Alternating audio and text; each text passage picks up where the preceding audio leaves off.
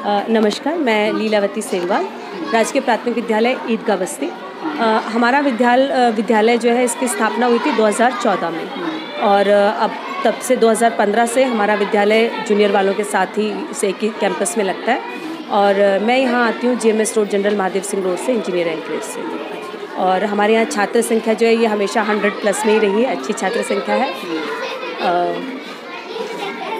Ma'am, आप इससे पहले भी और स्कूलों में भी रहे होंगे और यहाँ पर भी आए हैं तो आपको विद्यालय में, पढ़ाने में या विद्यालय के मैनेजमेंट में या स्कूल संभालने में कौन कुछ चुनौतियाँ भी आई होंगी कि आपने कैसे करना है, कैसे आप करेंगे क्या क्या आपको परेशानियों का सामना करना पड़े, कौन सी चुनौतियाँ आपको ऐसी हैं जो झेलनी पड़ी जब मेरा नाइनटीन नाइन्टी नाइन में जब मेरी जॉब लगी थी तो पुरोला मेरा फ़र्स्ट जो अपॉइंटमेंट था, उत्तरकाशी ब्लॉक का उत्तरकाशी ज़िले का जो ब्लॉक पुरोला है, वहाँ था।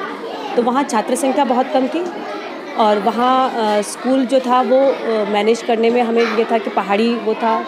सभी बच्चों के पास जो वहाँ का एक परिवेश है, उसमें क्या होता है कि बच्चों को अधिकतर वो सिर्फ़ पढ़ाई के उससे करते तो वहाँ पे जो उपस्थिति है वो शत प्रतिशत रहती थी।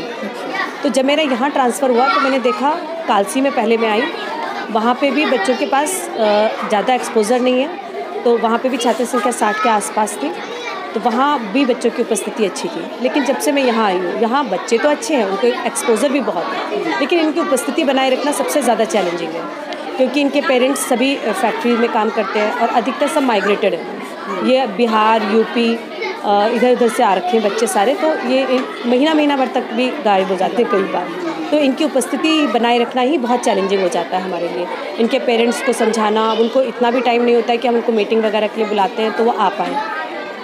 आते भी हैं तो ग्रुप में नहीं आ पाते वो एक एक करके आते हैं तो ऐसे में क्या होता है कि हमारा अपना पूरा शेड्यूल इस दिन डिस्टर्ब हो जाता है, जिस दिन हम उनको बुलाते हैं। फिर इनकी अपनी परेशानियाँ हैं जो डेली रूटीन्स में ये फेस करते होंगे और उसकी वजह से उनके बच्चों का शिक्षण जो है वो बहुत ज़्यादा प्रभावित होता है। तो यहाँ हमें बच्चों की उपस्थिति बनाना ही सबसे ज़्यादा चैलेंजिंग है। और प्लस थोड़ा सा आप देख रहे होंगे कि हमारा विद्यालय जो है, इसका अपना भवन तो है नहीं। तो अब हमारी वजह से हम कहें कि छात्र संख्या भी हमारे यहाँ बहुत अच्छी है जूनियर वालों के यहाँ भी बहुत अच्छी है। तो दोनों ही विद्यालयों को बहुत ज़्यादा ये परेशानी होती है कि बच्चों के लिए बैठने के लिए बैठक व्यवस्था अच्छी नहीं है। ये प्रॉब्लम तो आप मतलब ये आप ये तो आप एक तरीके से कि आप चाहेंगे कि सरकार से कि सरकार जो है हमारे विद्यालय को देखे या क्या करे हमारे विद्यालय के लिए।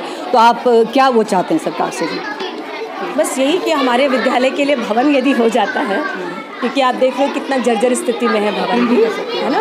तो इतनी जर्जर स्थिति में जब बरसात होती है तो हमें बच्चों को बिठाने के लिए होता है कि हम एक नज़र बच्चे पे, एक बोर्ड पे और एक छत पे देख रहे होते हैं। तो वो बहुत ज़्यादा परेशानी होती है। पूरे बरसात में हमारे बच्चों का पूरा शेड्यूल डिस्टर्ब हो जाता है कि हम उनको छुट्टी करनी ही पड़ती है हमें। अगर मतलब बारिश हुई तो पूरी दीवारों से पानी टपकता है तो उनकी सेफ्टी को देखते हुए हमें कई बार छुट्टी करनी पड़ती है बच्चों की तो उससे पूरा डिस्टर्बेंस हो जाती है। तो यदि गवर्नमेंट को तो चाहिए ही कि हमारे विद्यालय के लिए थोड़ा सा भवन की यदि व्यवस्था हो जाती। तो जूनियर वालों के लिए भी अच्छा था कि उनको भी थोड़ा सा हाँ स्पेस की कमी उनके पास भी है हमारे पास भी है छात्र संख्या उनके पास भी अच्छी है और हमारे पास भी अच्छी है। तो आप चाहेंगे कि हम चाहते हैं कि अगर आम समाज जो है स्कूलों से जुड़े। हम ये सोचते हैं कि भाई आम समाज को स्कूलों से जुड़ना चाहिए। तो उसके बारे में आप क्या सोचते हैं? कि क्यों जुड़ना चाहिए? आम समाज के जुड़ने से क्या होगा? क्या बदलाव आएँगे? क्या देखिए सरकार से पहले तो समाज ही है। यदि वो सहयोग करे तो काफ़ी कुछ बदलाव इसमें भी हो सकता था। जैसे अ, समाज यदि समाज से मेरा अभिप्राय जैसे ग्राम प्रधान जो मुखिया के तौर पर रखे गए हैं वो इसमें थोड़ा पहल करते यदि। और जब भी वो अगर पहल करते हैं जैसे बच्चों की उपस्थिति है तो हमसे ज़्यादा वो उनसे उनके पेरेंट्स से वो कांटेक्ट में रहते हैं तो वो उनको समझाएँ। तो यदि वो पहल करते हैं तो वो ज़्यादा कारगर होती है। तो जैसे हम अगर हम विधात संस्था वैसे जो काम कर रही है तो उसके बारे में आपका क्या सोचना है कि जो समाज के द्वारा जो कार्य कराया जा रहा है जैसे स्कूलों में बुक्स दी जा रही हैं दी जा रही हैं तो इससे आपको क्या लगता है कि ये क्या धात संस्था की जो पहल है समाज के द्वारा क्या ये सही है? बहुत सही है। मैं तो बच्चों बच्चों बच्चों को तो अपने जो हमारे बच्चे जो भूलते चले आ रहे हैं ना अपनी पिछली जो हमारी संस्कृति में चला आ रहा है उससे बच्चे जुड़ रहे हैं। इवन जो बड़े भी हैं वो भी जुड़ रहे हैं। तो आपके धाद में तो मैंने देखा है कोना कक्षा का तो एक चल ही रहा है जो स्कूल्स के लिए अ, मतलब मेन फोकस वो है। बाकी भी जो कार्यक्रम चल रहे हैं जैसे वो हरेला वगैरह का चलता है धाद में फंची करके भी एक चलता है जिसमें उनके जो खाद्य पदार्थ हैं जो लोकल फॉर वोकल वाली चीज़ें हाँ।